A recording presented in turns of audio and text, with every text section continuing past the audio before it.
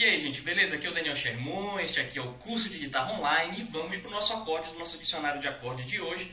Eu vou mostrar hoje o Lá com nona adicionada e com sexta. É esse acorde aqui, olha que facinho. Ó. E é bonito, né?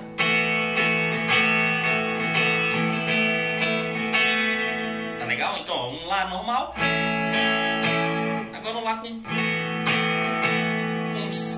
adicionada e com a sexta, tá legal? Ou lá com sexta, com nona adicionada, como queira chamar, a ordem não importa.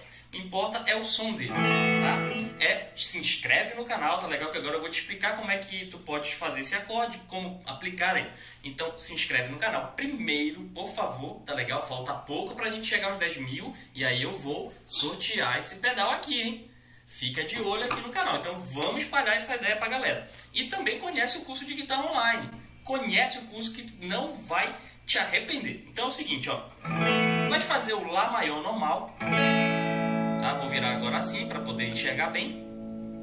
Tu vai retirar o terceiro dedo e colocar na primeira corda da na segunda casa mesmo. Então, primeiro dedo, segunda casa da quarta corda, segundo dedo, segunda casa da terceira corda e terceiro dedo, segunda casa da primeira corda exemplo, às vezes tu tá tocando uma música que tá em Lá maior, mas aí tu queres dar um brilho a mais. Olha só que legal, ó. Pô, ficou caretão, né? Agora aqui, ó. Já dá uma impressão diferente. Beleza? Então tá aqui mais uma vez o desenho. Toca da quinta corda para baixo, tá legal?